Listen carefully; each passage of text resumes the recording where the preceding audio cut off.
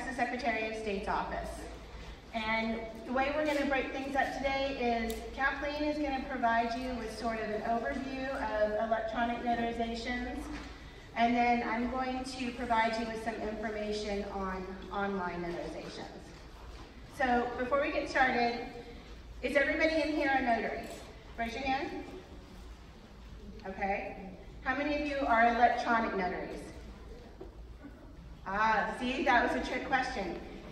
As you guys, when you got your commission, you are commissioned to perform both paper-based and electronic notarizations. Okay, so you guys can already all provide electronic notarizations. However, how many of you are, are commissioned as online notaries? We have one over here. A couple, okay. So we have over 435,000 notaries in the state of Texas.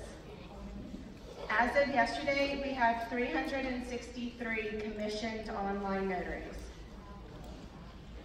So, um, big difference. It was just introduced last year, and so right now we've got 363,000.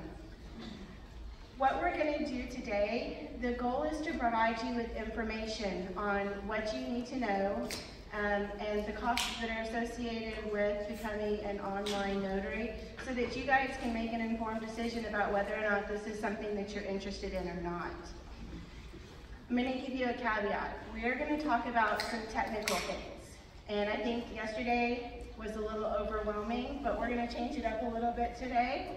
Um, I want you to understand that when the law was passed, the change to ch uh, Chapter 406 of the Government Code, and then the Secretary of State's um, administrative rules were changed to allow for online notarizations. The goal was to provide you with what the technical, the minimum technical standards are, and to make it a vendor neutral standard so that you can go out and talk to vendors and say, these are what the minimum requirements are for Texas and they know whether or not they can fulfill that. But if you guys don't need to be afraid, we're going to talk about things like PKI and X509 compliance. You don't necessarily need to understand what that technology means. What you need to know is that when you go and you talk to a vendor, you need to say, hey, these are what Texas's requirements are. Can you meet these requirements? And and I think we were talking earlier, there's between 11 and 15 states already that have adopted online notarization. And there's another 20 that are considering it during their legislative session. So this is not something that is unique only to Texas. This is something that notary vendors are out there and they understand what the requirements are and they've built applications and platforms that can fulfill the standards that are required by the states, including Texas.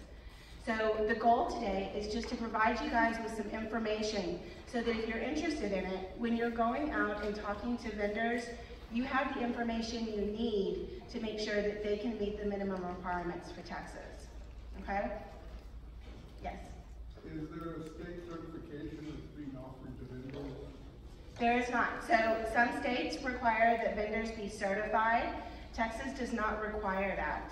That's why in our rules and in the statute, we just are setting forth the minimum requirements, and as long as the vendor can represent to you that they are able to meet those requirements, then there's not a requirement that you go with any specific vendor, okay? Pardon me, but I don't know what you mean by vendor. So, a vendor, um, there, I mean, there's lots of vendors. We've got some of our exhibitors out here, our vendors. Um, and, and, and, I'd be glad to address that when, because I'll use that term today. It's essentially a company that has created the technology that you would use to do these types of notarizations. So we just call them vendors, but you know, everyone who makes an app is a vendor. So we'll just use that nomenclature today. Right. So okay. shall we shall we just go ahead and dive in? We should. So Kathleen's going to start out today. Okay, great. Um, so, so great to see you guys and be here to, to have this conversation. And I love what Briana said because really this is just a conversation with you guys about making you a little more familiar about what the law says about online notarization, electronic notarization. Um, so as she pointed out, I'm going to start off here and try to just lay some of the groundwork, talk about some of the familiar fundamentals of performing any notarial act, no matter how you do it, what means or manner you use.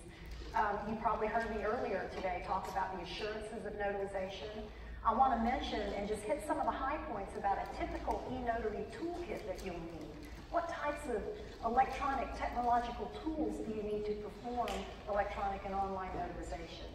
Briana's going to pick it up with exactly what she said, just informing you about what the laws require vendors to meet as far as the minimum standards for the technology. So she'll cover things like that and some of the ins and outs of uh, becoming an online notary and getting that commission and the responsibilities of an online notary and um, other administrative rule changes that affect that um, commission. And we have one question here, yes? A silly question, but could you please explain to me what the difference is between the electronic notarization and an online notarization? Well, I must have rehearsed you before this started because we're going to talk about that.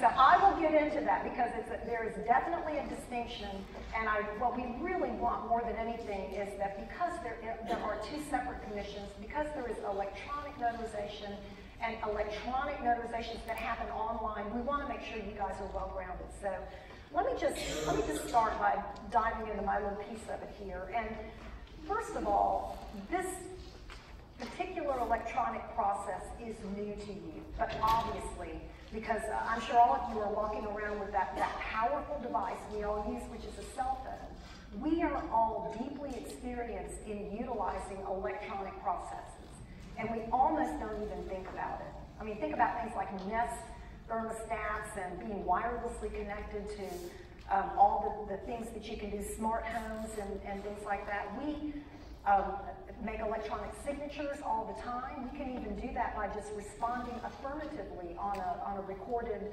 voice transaction by saying yes or no. That can be considered a, an electronic signature. So we're deeply experienced in that. We almost don't, that was my mic, wasn't it? Okay. This, we've been having a little trouble with my micing because I don't have a collar. Hang on. Okay, we're going to try this again. Sorry. Um, at any rate, my point is that e-signatures and electronic processes basically permeate our lives. And e-notarization is less common, but it's one of those things that is absolutely growing in prominence, as, as Briana mentioned. It, has been authorized in um, states for years, but it has really started growing in prominence and, and it's rolling down the track. And we just want to make sure that you guys understand, you know, what's involved with that. And another comment I want to make about going into the brave new world of electronic transactions, you know, I mentioned we're already deeply experienced e-users. And think about all the different apps and e-processes that you use. You are not an expert on the technology that makes those apps work. What you do know is, hey, this app works. And now something that I used to have to do manually with different steps, maybe involving paper, I can now do that electronically. I mean, just a perfect example, think about banking now. We, most of us probably utilize a banking app. That's really what we're trying to convey about this new way of notarizing. So we're going to dive in and try to just clarify all that for you. So first of all, let's let's talk a little bit about electronic notarization Texas style. So whether an electronic notarization happens and is carried out by a traditional notary with the signer face-to-face, or it's an online notarization carried out by an online notary, it's still an electronic notarization. But there are um, some similarities and differences in some of the basic requirements. First of all, with um, for both traditional e-notarization and online um, notarization, the primary governing laws and rules that tell you how you're supposed to notarize and the procedures you're supposed to follow apply equally. Because again, a notary is a notary is a notary. The same formalities of the Notarial Act have to be carried out. We do have two separate commissions now. And I, I love what Briana did because it was a great example. You're all authorized to not only perform paper notarial acts, but also electronic notarial acts. And so that would be under the traditional notary public commission. You can obtain, if you have the traditional commission, you are eligible to apply to obtain the online notary commission. Online notaries are performing electronic notarizations, but they're doing it with the signer meeting the personal appearance requirement by appearing online using audio video communications technology in real time. Literally, they're sitting there and you're looking at them on, an, on a monitor and they're looking at you and your conversation is happening in real time. So um, that's how, that's a, a, key difference between the two. And I want to emphasize both forms under Texas law are um, meeting the personal appearance requirement for notarization. It's just with electronic, it's physical appearance of the signer. And with an online notarization, it's interactive two-way audio video. Notarial acts, for both types of commissions, the notary can perform all the acts authorized of a Texas notary. So that's, that's pretty meaningful. I mean, and it really is yet another way that we're illustrating that this is simply another way of performing notarial acts. Um, as far as the technology for um, the electronic notarizations that are performed these two different ways, if it's under the traditional um, notary commission and its traditional electronic notarization, the technology for accomplishing that electronic notarization is not specified. And I think this is, this is the concept that we've been most concerned about in helping you guys understand. With online notarization, there are definite specified technology minimum standards that are in the law. Those um, specifications are more to ensure that whoever creates the technology has created technology that meets those standards. And again, your knowledge of what those standards are in the statute would enable you to go and say, this is what I have to meet. Can your system do this? And so again, for traditional e-notarization, no technology standards. It's, um, you can use any type of electronic signature as a notary. You can use any type of um, electronic notarization platform, and there are some out there. Any type of electronic platform that lets you conduct these signatures, the technology is not specified. And then you're going to hear from Briana how very specified the technology is for online. I, I, I just keep saying this like a mantra, but it's always worth repeating. For electronic notarization, both in presence for the traditional notary and online for the online notary, the same core fundamentals of notarization are occurring. You're, you're going to go through the same formalities of the Notarial Act. Personal appearance, that bedrock principle of notarization that we all have to ensure is satisfied, um, is absolutely satisfied for electronic notarization. And I just mentioned for the traditional notary, that's going to be a, a physical presence of the signer for a basic paper notarization or electronic notarization, for an online notary, personal appearance is satisfied through the audio video real-time connection that you have with that individual. Um, the same uh, identification requirement is there.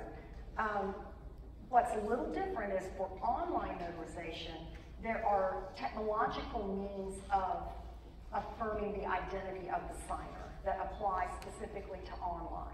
But for electronic notarization and traditional paper notarization, it's the forms of um, identification that you're accustomed to when performing a, a physical presence notarization with a signer.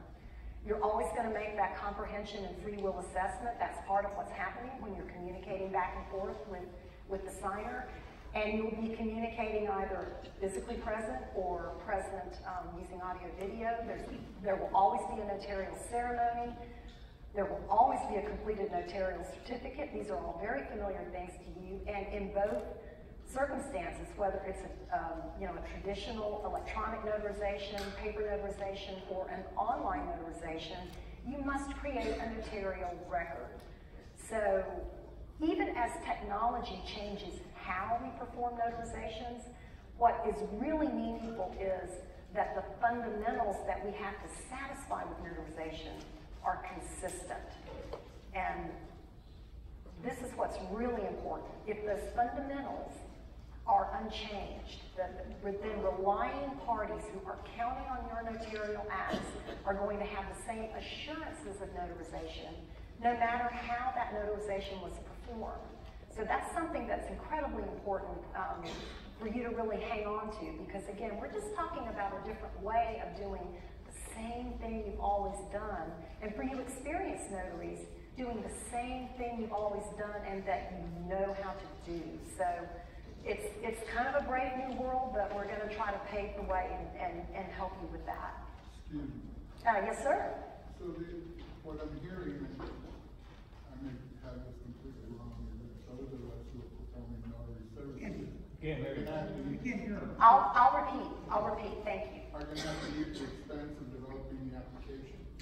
Uh, the question was for those who are, make sure I get this right, for those of you who are interested in going into electronic notarization, online notarization, will you have to bear the expense of developing the applications? I think the answer to the question is, you know, there are going to be expenses with using technology to perform notarial acts because yes, development of the platforms that enable this to happen did, it comes at a cost. So yes, we will talk a little bit about the different fees that you can charge for online notarization. And yes, just be aware that um, doing things differently by doing them in an electronic format can certainly involve more expense to, to get yourself e-enabled. So that's a, a very good but that was, question. You know, essentially overheads increase. Uh, well, if your costs increase, if you, if it's overhead to you, then yes. Yeah, I mean, so the answer is yes, we're gonna have to pay for the development of the application, uh, end user. You're going to have to pay for any increased expenses that may come. And so I, I, I want to make sure I'm answering really Right, the, yeah, the no, question. I, I mean, I understand, but, but what I'm hearing is that I know we're gonna keep the standards the same and all that. Mhm. But the obligation to meet those standards within an electronic setting is going to be on us. Why don't we hit, yeah, right, right. I think that's, It's already there, you just have to subscribe to it, you have to buy into it. Right. I'm thinking the study. are- Yeah, that's your business costs.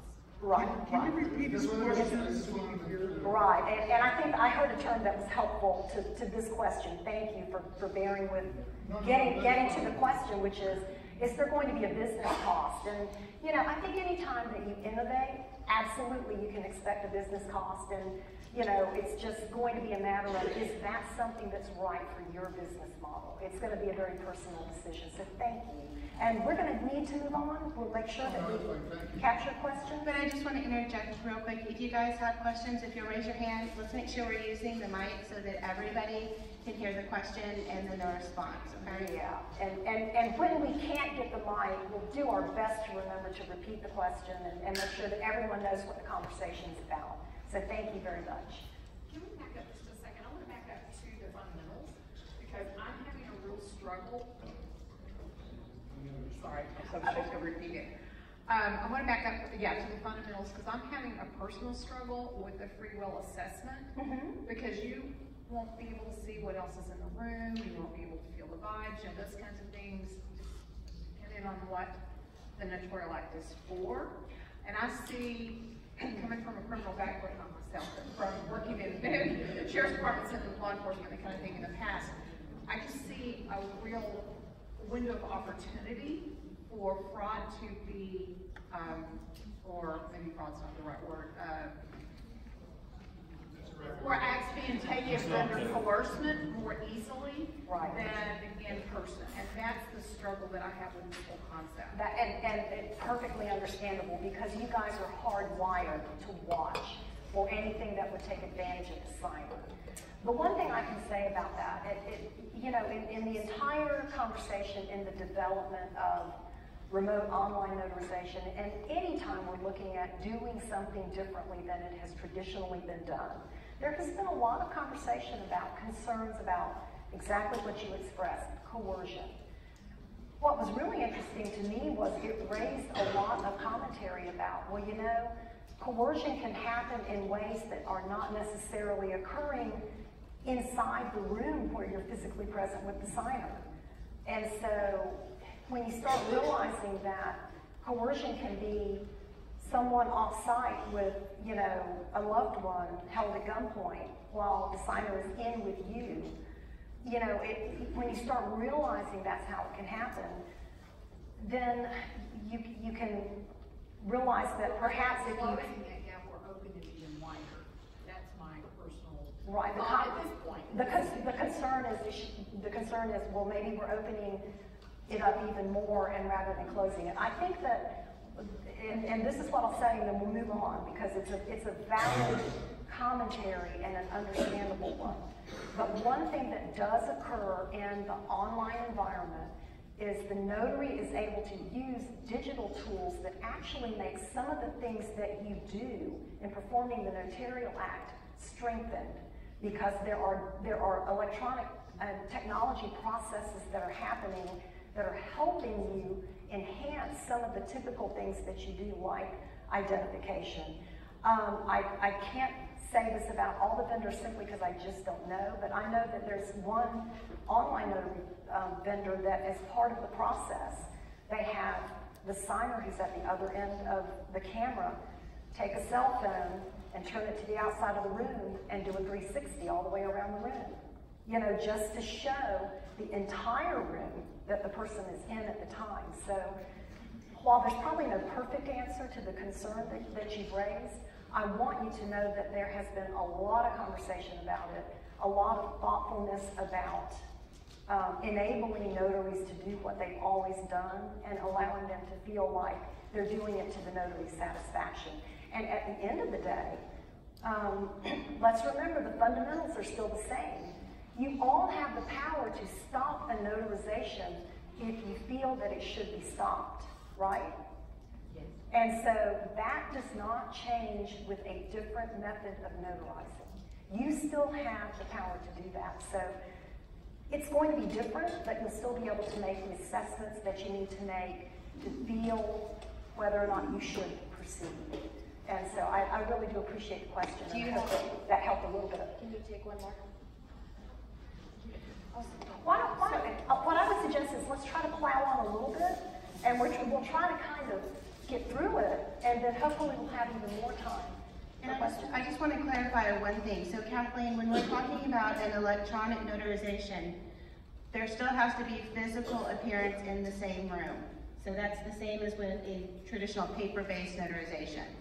So if you're performing an electronic notarization, just means that the documents are on your computer rather than printed out and you're doing a manual stamp and sign. The signer still has to physically be in the same room with you. The only time we're talking about a two-way audio-visual appearance is when we're talking about online notarizations. Yes. So I just want to make sure that's really clear to everybody. You still have to have the standard physical appearance for an electronic notarization. Correct, correct, thank you, thank you. So, okay, and we talked about NFES, you, you've heard that. It- So, again, notary as an independent witness to the events of the notarial act and your completed notarial certificate, it's evidence taken on its face to be factual unless it's rebutted. And, and I always like to remind you how powerful your certificate is for relying parties. So, um, electronic notarization, same effect that you've always created with notarization. Um, an e-notary's basic tools, and this may answer um, some of the questions that we've, we've had come up. Um, and this is a very high-level um, thought about the types of tools that you'll need. But obviously, you're going to need some kind of web-ready device. A, a desktop computer if you have people coming to you um, physically and, and that's how you want to do it, or a laptop if you're going to them, or a tablet or a phone, something that will enable you to access the internet. You're going to obviously need web connection to perform electronic notarizations. Um, you know, if you can, particularly if you are in a situation where the only access is through public Wi-Fi, you know, obviously you don't want to perform sensitive transactions on an open public network. So you do want to look into, and this, this speaks to, to what you were remarking on, some of the costs being a little higher. You want to look into um, figuring out how to have things like a virtual network that basically adds that layer of privacy protection to your um, internet signal when you're when you're performing um, electronic notarizations and you're not on, you know, like a secured um, environment like maybe your your home. Uh, your notary e-signature and seal. That's yet another tool that you'll need. Um, it can be stored on your web-ready device. It can be on the cloud, or it can even live, if this is an option for you, and it, in, most cases it will be, it can live on the server of the e-notarization vendor that you work with to provide these materials and provide a platform for you. So there are different ways of, of that being handled, but again, you will need um, a means of making your electronic signature and your electronic seal. And finally, your journal. For a traditional notary, whether you're performing paper or electronic notarizations, there isn't a specification about the, the style of the journal. It can be paper or electronic. But one thing that's important for an electronic journal for a traditional notary, if you use one, it does need to be capable of being backed up and being able to produce a, um, a journal record when one is requested. Uh, for an online notary, there's no option. It will be an electronic journal. And generally, it will be one that is part of an electronic um, remote online system.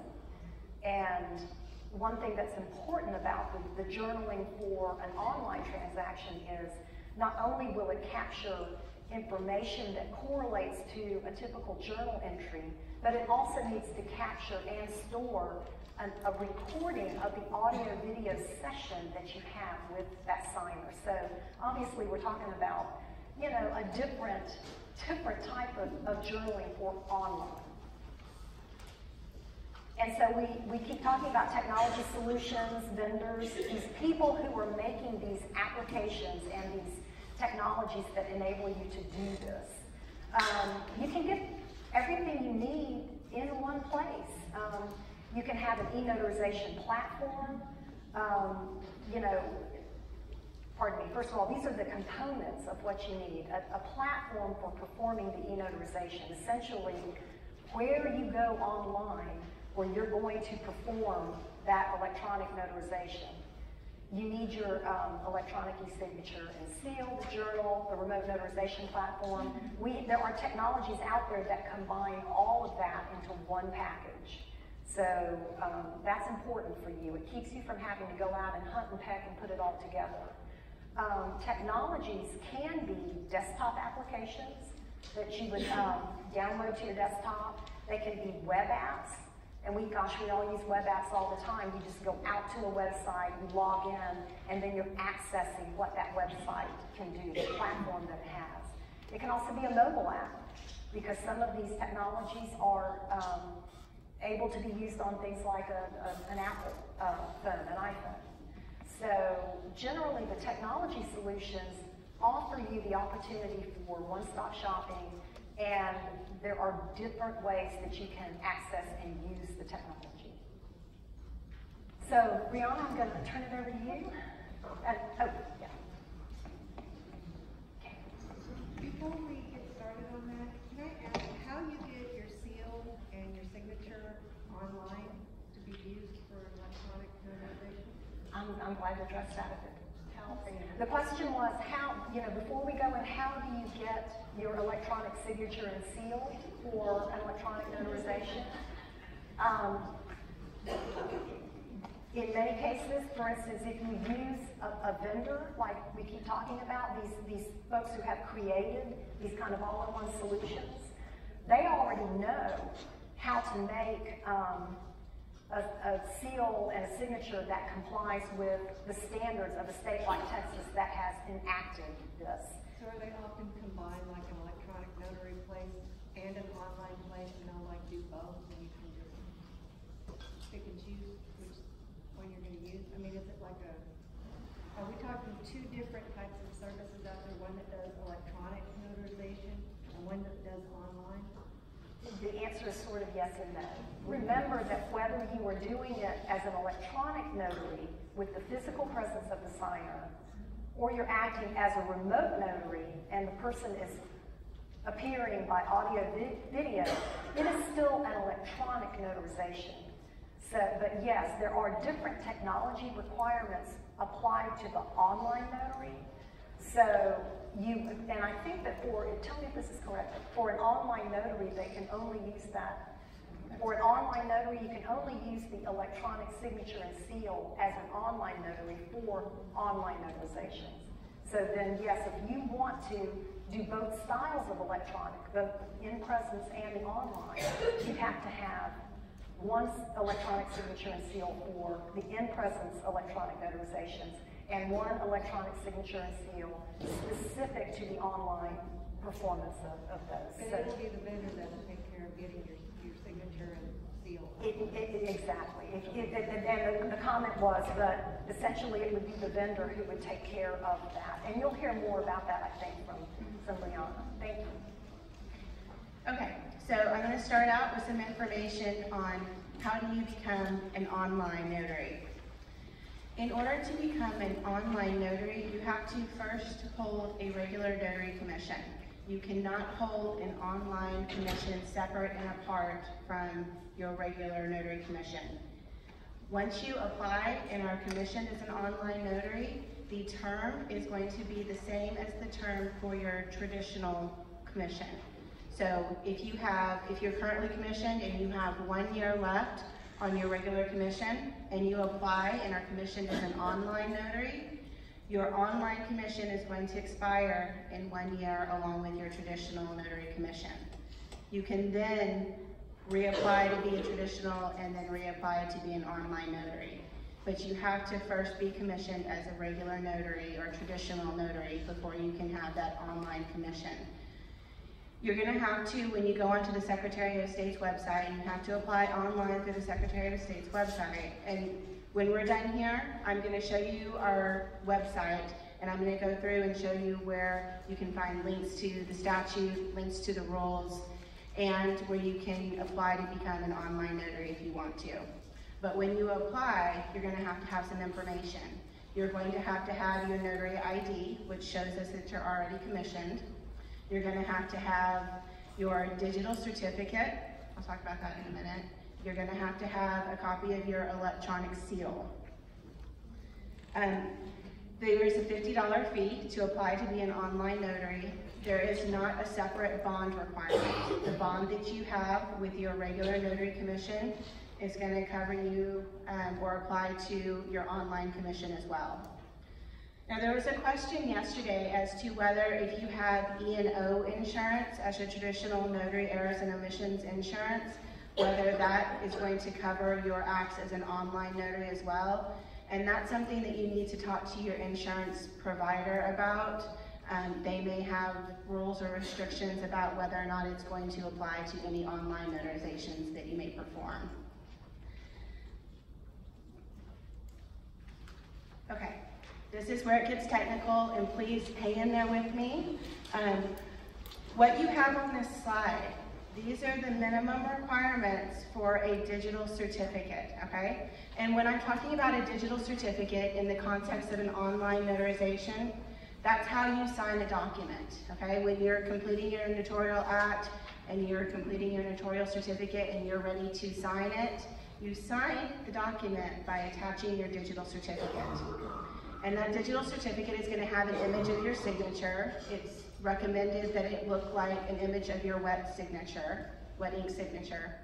Um, but that's how you're gonna sign it, and it looks like you're signing the document. But what a digital certificate does, what the PKI and the X509 compliance does, is when you attach it, there's data underneath it, okay?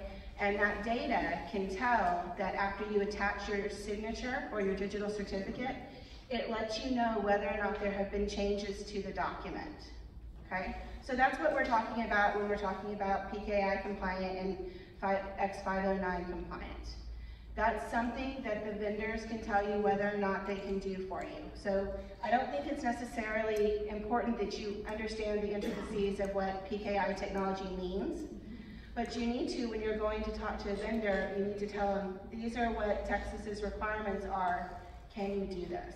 And, and one comment I want to throw in is these vendors and, and folks who provide these technologies, they are deeply interested in this. And there are states that have authorized electronic notarization that have technology requirements for years. And so generally, this is, this is old hat to them. And the point of sharing it all with you is so that you know the language to speak to them when you go and you, and you want to ask if they can meet the requirements of, of Texas statute. So when you have your digital certificate, just like with your seal that you would use for paper-based notarization, your digital certificate needs to stay within your exclusive control. So you can't share a digital certificate with somebody else, with a coworker, okay? That digital certificate needs to be within your exclusive control at all times. You need to make sure that it is current when you use it. So when you go out and your digital certificate, it has to be issued by a third party. You cannot create your own digital certificate, okay? So you're already gonna go out and you're gonna have to talk to a third party in order to get your digital certificate. So these are the things you can talk to them about. But when you get your digital certificate, you need to make sure that it's current when you're using it. Depending on who you get your digital certificate from, the length of validity before they expire will differ. Sometimes it's for a year, sometimes it's for two years. Somebody yesterday said that you can get it for the length of your commission. But you need to make sure that if it's not concurrent with your online commission, if it expires beforehand, that you're on top of it and you're renewing or getting a new digital certificate when that old one expires, okay? If your digital certificate is lost or stolen, you need to notify local law enforcement and you need to notify the Secretary of State's office. Okay, I'm not gonna go into this in depth because you guys have heard this multiple times today, but the same core fundamentals apply to an online notarization that apply to a traditional paper-based notarization or a traditional electronic notarization. It's still all the same key elements, there's just some little differences, and we're gonna talk about those specifically. For an online notarization, personal appearance. For a traditional notary, you have to personally appear, they have to be in the same room as you, right? That's for a paper-based or a traditional electronic notarization. The signer, when they come, they're gonna be in the same room with you. For an online notarization, they can appear or they're going to appear before you via a two-way audio-visual communication. So how many of you have ever FaceTimed or Skyped with somebody? Most of you. So when you are FaceTiming with somebody or you're Skyping, you have, they appear on the screen before you, whether it's your phone or your computer, and you can see them in real time. You can talk to each other in real time. It's the same concept when you have this, whatever platform you're gonna use for your online notarization. There needs to be continuous and clear, a continuous and clear feed so that you can see each other during the whole act, that you can see and talk to each other, okay? But that's personal appearance for an online notarization, is appearing via the two-way audio-visual secure link. Oh. Okay. Be nice. So performing the notarial act. As an online notary, you're authorized to perform all of the same notarial acts as you would under your traditional commission. You can still do acknowledgements and protests and jurats. You don't have any greater or lesser authority. Your fees that are charged. So you can charge as an online notary, you can charge the same fees that you can for a traditional notarization, plus you can charge $25 for the online notarization. So if you're performing an acknowledgement for somebody, you get to charge the $6 for the acknowledgement, and then you can charge $25 for the fact that it's an online notarization. So the total for that acknowledgement is going to be $31 that you are authorized to charge. Again, just with our regular fees, it's a, that's your maximum. You can always charge less than that, but you can't charge more than that, okay? Identifying the principal. Just like with the traditional notarization, there's three ways that you can identify the principal. You can personally know them, You can, they can be introduced through the oath of a credible witness, or they can be identified by use of a credential. And if you're going to use a credential, it's the same credential requirements as for a traditional notarization. It still has to be a valid identification that's issued by the U.S., state, or federal government. It needs to include the signature and photograph and picture of the individual that's appearing before you. But with an online notarization, if you're going to identify somebody with a credential, you need to go through two processes called identity proofing and credential analysis. And again, these are processes that are provided by a third party. With identity proofing, it's the third party that's using public and proprietary data sources to collect information about the principal and then ask them a series of questions that they need to answer in order to confirm that they are who they say they are. So how many of you have ever uh, applied for a credit card or a loan online and you are asked a series of questions about where you lived when you were in second grade or what was the name of your first pet or something like that? Questions that theoretically only you should know the answer to. Yeah, most of them, okay? So that's the same sort of thing. That's called dynamic knowledge-based authentication. It's the same sort of thing that's happening with the identity proofing, okay?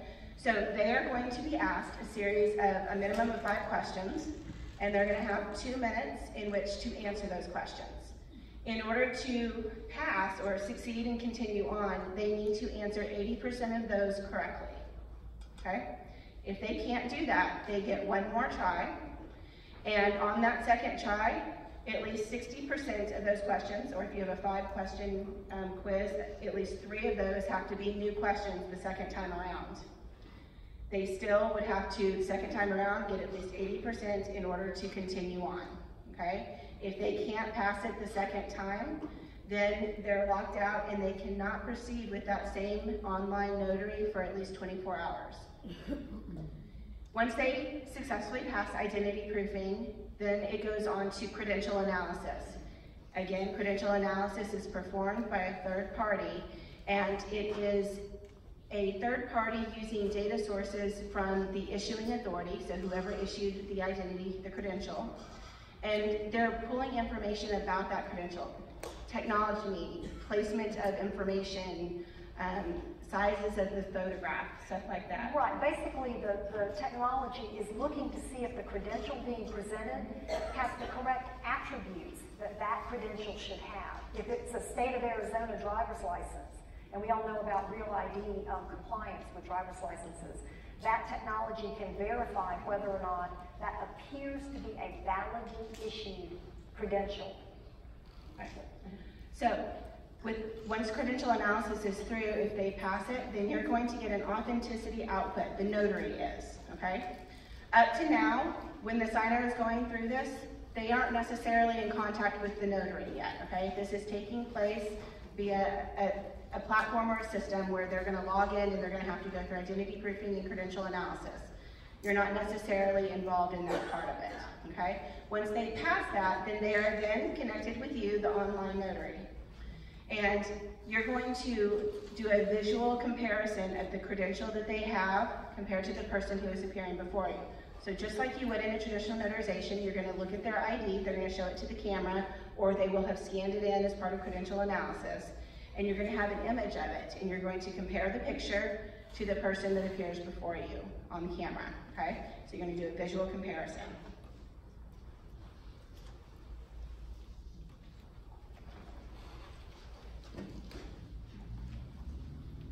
So completing the notarial certificate. After they're properly identified, you're going to go through and you're going to perform your notarization, you're going to do your notarial ceremony, and when it's time to do your notarial act or your notarial certificate, there's going to be certain information, and it's all right here, as to what has to be included in your notarial certificate. I'm not going to read it to you, but really the only difference between an online notarial certificate and a traditional notarial certificate is the fact that you have to have a statement that this was an online notarization, okay? Just like the Secretary of State's office has provided you all with your educational materials, sample certificates for a traditional notarization, we've got on our website sample language for a online notarization, sample certificates for an online notarization. So remember, you guys are not supposed to be the ones that are choosing what the appropriate certificate is to go with a particular notarization. That's the responsibility of the principal that's appearing before you. But you can say, here's some options if there aren't, if- and let them pick, okay? You can have the options available for them. It is your responsibility, however, to make sure that the information that is contained within the notarial certificate is accurate, right? If the county is wrong, you can go in and change that. If, um, the language that was given before you was for an acknowledgement, but really they are asked, they want you to do a jurat, then you need to change the language to make sure it's consistent with the notarial act that you performed. And then the final step is going to be to attach your digital certificate, and remember, that's how you sign your notarial certificate. You're gonna attach your digital certificate, and if your electronic seal is not incorporated already into your digital certificate, you're also going to attach your electronic seal to the document.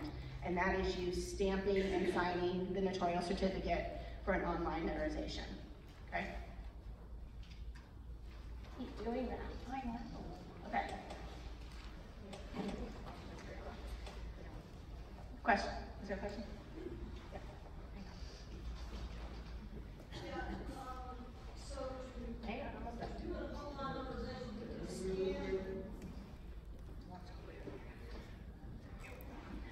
So to do the online notarization, they're going to scan the document in that they're gonna want notarized for you to attach the certificate to it, or? Yeah, so it's either gonna be scanned in or you're both going to be using the same platform and they will just upload a document to the platform. It's going to appear before you and then you'll talk to them during the notarial um, ceremony and then you'll, uh, you'll attach your digital certificate and seal to the document electronically. Okay, so it will remain an electronic document at Exactly. that point? With an online notarization, you're never, Kinda like the making it paper-based. Okay. And I have a quick question. Is everyone comfortable with what we mean by a platform? It's a place online that the parties go to conduct this business, you know? So there, it's basically gonna be a website, a web page. Everyone who's participating is an authorized, um, signer and, or the notary, and they have login credentials for that particular transaction so that only the authorized parties are getting in. The catch-all phrase for that is a platform. And just didn't want to lose anybody in the, in the nomenclature over that.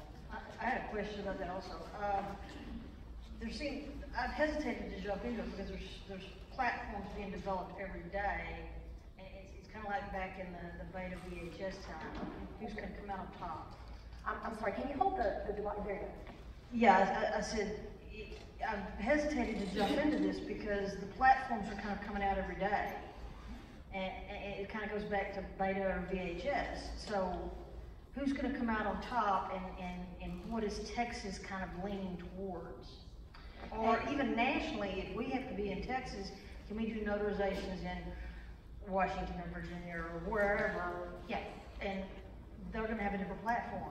So, two parts to that. So, again, when Texas, when we developed our administrative rules as to what are gonna be the requirements for an online notarization, our goal was really to say, hey, these are the requirements, and then there's gonna be vendors out there that are able to fulfill those. So, in terms of like, which is gonna win, I, I don't know that there's an answer. As long as they are going to, whatever vendor you decide to go with is going to meet those minimum requirements, you should be good. I, I think it means that you'll have choice. There are going to be enough choices out there and enough vendors that will meet the requirement that you can find the one that feels right for you. And, and it's just like any other opportunity to make choice, um, out there. And then the second part of that question was, Well, are they gonna be, um, applicable from like Texas as it's, it's a governmental thing? or Right. it could be- We have to be, different, but we're not running stuff in Washington or, uh, Florida or and wherever. So the question is, you know, are the requirements in Texas gonna transfer to wherever your principal is located? Um, And the question is, that's the response, I mean, the answer is, that's the responsibility of the principal to determine. Um, there's, there's always gonna be differences in the notarial laws and regulations of various states. Like, we get stuff, um, in our office that sometimes is notarized in California, and we need it verified, and the notarial certificate that they give us from California, it never meets our requirements. So that doesn't work for our office. It's the responsibility of whoever the principal is, whoever is asking for that notarization, to make sure that the notarial act that is being provided in Texas is going to be sufficient for wherever it is that they need to use or record that document. Okay? And This is our next question. Yes, ma'am. I just had, I'm trying to understand, when you say platform, would Google Docs be something that you're referring to? Where, you know, where two different people can be in the same document? Would that be? It's the same concept, yes. And you know, in other words, it's, it's where multiple parties can come together to do, to carry out their role in the transaction. It's almost like a, a, an online meeting room or an online signing room. And so But you- that's what we mean by, by platform. Right, but you're gonna also, it needs to be a secure platform. Um, there's requirements as to who's gonna have access to the documents. So, a- and that's again why you're gonna have to go out, I mean, this is not something where you can just go and sort of pick it up and create your own system because there's requirements as to, you know, you have to use a third party for a digital certificate. You have to use a third party to go through and do the identity proofing and credential analysis. And there are system requirements, minimum system requirements that you're gonna have to meet. Um, and so that's why there, there's a multitude of people who are out there who have the technology already created in order to be able to do an online notarization. So, So if we're hired by uh, a signing company or a title company or whatever, um, and they have a platform, because we're ultimately using the documents that they're providing us. So if they have a particular company, third-party company that they're using and that they utilize as a uh, way of completing this, so we just have to kind of find out who they use as a starting point and that they're okay in the state of Texas. If they're approaching us saying, are you okay or interested in doing e-notarizations? Right, I think you just need to be aware of who the company is that's providing that system and make sure that um, they have made reasonable representations that they are capable of meeting the minimum requirements in Texas. She basically asked the same question I was. How do we, how do we do more than one platform, or do we have to have more than one platform, or do- can we tell them which platform we're using? And I, I think that's a business decision that you're gonna make with the principal. If you, if there's one that you're using and you're comfortable with, and you say, this is the system I'm gonna use, and they can choose to do that or not. Real quick, I just want to clarify, so I know like Virginia, if you're online notar, uh, notarized in Virginia, you can actually notarize in, I think, every state. Mhm. Is it the same for Texas? So in Texas, you as the online notary, you have to be in the state of Texas at the time you are performing the online notarization. The person who is appearing before you via the two-way audio visual, they can be anywhere in the world, okay? You as the not, you as the notary have to be in Texas, the person appearing before you can be anywhere. So the filing doesn't have to be in Texas? The filing, it does not have to be recorded in Texas, but again, if it's not gonna be recorded in Texas, um, it's always the responsibility of the principal to make sure that it's going to meet the requirements in their home state. We have five Person. Okay, um, I'm gonna, let me just get through, just uh, briefly, I'm gonna go through as fast as I can some of this information, but I just wanna make sure that you have it and you're aware of it. But I will not leave this room until I have answered all the questions that you guys have. I wanna make sure that you have the information that you need in order to make that decision as to whether or not online notarization is gonna be right for you, okay? So, let me get through recording the notarization. Just like a traditional notarization, you have to record an online notarization. It has to be done electronically. And it's gonna have to, your electronic log is gonna have to include a lot of the same information that your traditional log is gonna be. Where it was, the type of document, who appeared before you, that information.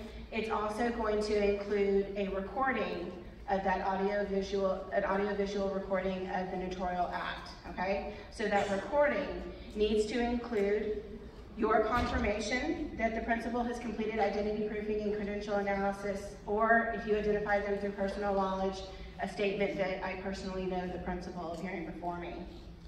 It needs to have a visual confirmation of the identity of the principal, so that can be done through um, the visual comparison of the credential.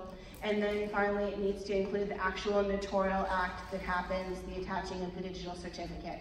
That all needs to be included as part of your um, record book. You need to keep both an original and a backup of that record book in a secure manner for a minimum of five years from the date of the notarization. You can have a third party keep track and hold on to that electronic or store that electronic record for you. However, you need to make sure that it's you have exclusive use or exclusive control over that notarial record, and you need to make sure that should your contract with that vendor ever terminate, that the records will all be transferred to you. Just like with a traditional notarization, it's your record book, you're the one who's responsible for maintaining it, providing copies of it in circumstances where that's required. Okay, your online system requirements. If you're interested in an online notarization, you need to go take a look at section 87.71 of the administrative rules. That's going to provide a list of the minimum requirements for your online system. And that is going to be the two-way audio-visual um, feed that you're going to have. It, you need to make sure that you've got a continuous feed, that there's sufficient clarity and the, um, that you can see and hear the principal, that you can perform, perform credential analysis, that there's a clear enough image for credential analysis, that it's a secure system. Um, those are the things that are, you're gonna need to have. But again, when you're going to talk to somebody about a platform that you might want to use, 87.71 of the administrative roles is gonna have sort of a list for you to go through and talk with them about. Changes after commissioning. I'm going to quickly mention that for all notaries, traditional, online, everybody, if your address changes, the address that you have on file with the Secretary of State's office that you put on your commission, your application for commission, if that changes, you have to notify the Secretary of State's office within 10 days. Kevin's gonna talk about that again in the next presentation, but it's important enough that I'm gonna say it again. That's the address that our office uses to communicate with you. That's the address that is published online, so if somebody wants copies of your record book, that's the address that they're gonna send it to. If, heaven forbid, there is a complaint filed against you, that is the address that we're going to use to communicate with you about the complaint. So it's really important to update the Secretary of State's office if that address changes. Similarly, if you are going, if your name changes and you're going to notarize under a name other than which you were commissioned, you have a responsibility to update the Secretary of State's office. You're gonna need to get an amended commission, you have to get a bond rider, and you're gonna have to get an updated seal. For online notaries specifically, like we talked about before, if your digital certificate or electronic seal expires while your commission is still valid, you need to obtain a new certificate and a new seal. And you need to provide a copy of those to the Secretary of State's office within 10 days of that change. Finally, just a couple of changes to the administrative rules. Um, they were revised on August 19th of 2018 following the implementation of the online notarization. Um, we're August 19th, 2018, the notary rules were updated. And so a couple of changes, they were restructured, reorganized, there were some additional sections added in there. But I think one of the key things to understand is there was some new no nomenclature used. If the rules apply and talk about a traditional notary, then that's going to be a somebody who holds a traditional commission for paper-based or electronic notarizations. If the rules refer to an online notary, those are specifically people who are commissioned as online notaries. And then if the rule just refers to a notary or notary public, that is everybody. That is both traditional and online notaries. Okay? Um, I think, where's the, can I have that? Yeah, why don't you take the lavalier? Okay. Well, I'm gonna just, really quickly, for anybody who's interested, I'm gonna just quickly show you where you can apply to be an online notary on the Secretary of State's website, and then, um, I'll answer some questions while we're doing that.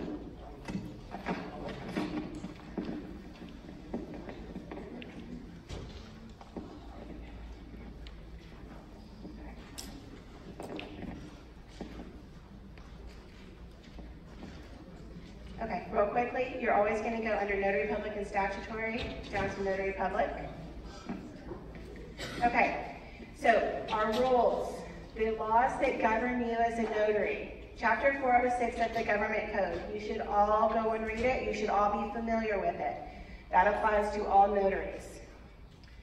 Chapter one twenty-one of the Civil Practice and Remedies Code applies to anybody who is doing an acknowledgement. So if you're doing acknowledgements, you need to be familiar with chapter one twenty-one of the Civil Practice and Remedies Code. And then finally, chapter eighty-seven of the Texas Administrative Code. These are the new administrative rules that became effective in August of twenty eighteen. And you can see here, we've got general provisions, definitions, a new section that was added is notary procedures, and there's traditional and online notary procedures, and that sort of goes through the steps that you need to follow when you're performing those. Administrative action. Oops. Okay, good cause. Good cause are the reasons that the Secretary of State has to take action against your commission. So if you do one of the things that are listed in the good cause section, you make a false statement in your notary application, you engage in the unauthorized practice of law. These are a list of things that are good cause for the Secretary of State's um, office to take action against your commission. You should all go and read 87.31 of the administrative rules and make sure you're not doing those things. Okay, those are all bad things that you are doing that can get you in trouble with Secretary of State's office. Including failure to maintain a current address. Remember, that's an important thing to remember. And then finally, specifically minimum requirements for online notarizations. Remember I talked about 87.71? Any online system that you're using needs to meet these requirements. So that's something you can take with you when you're talking to a vendor or a company that might be um, providing these services.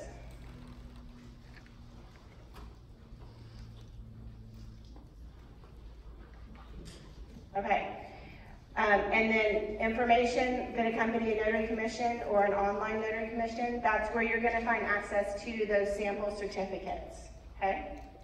And then finally, if you're interested in becoming an online notary, you can go right here, getting started as an online notary. There's information about before you apply, this is going to tell you about your digital certificate and your electronic seal, the information that you need to have already. And then the application process is going to take you step by step as to how to apply to be a notary, okay? And finally, down here at the end, I've read it all, I know what I'm doing, I'm ready to apply to be an online notary, and this is how you do it. Okay? Yes, ma'am. You have to have your platform and your electronic seal and all that in place before you apply. You have to have your digital certificate and electronic seal before you apply. You- The application is going to require that you provide a copy of those to our office. Let's have everyone take a break and the people who want to ask questions, bring out your stick, right? Yeah, that's fine. Yeah, come on. So ten minute break and then we'll be back for the rest of it, okay? Basically, a question, can a notary without, notary without bond become an online notary? The question is whether a notary without bond can become an online notary. I don't think there's any restriction against that. So another question, uh, I notarize, I'm an online notary, I notarize something in Michigan. People in Michigan have doubts about the validity of that document. Can they contact you directly to find out whether that, that, that, that document is legit and be notarized? So the question was whether if you have a if you notarize a document for somebody in a different state and they have problems with the authenticity or validity of it, can they, are you asking, can they contact me or can they contact you? No, contact your office. They can contact our office and we can tell them either, yes, this individual was an online notary at the time of this notarization, or no, they weren't. But we can't make any recommendation or determination as to the validity of the document. Thank you.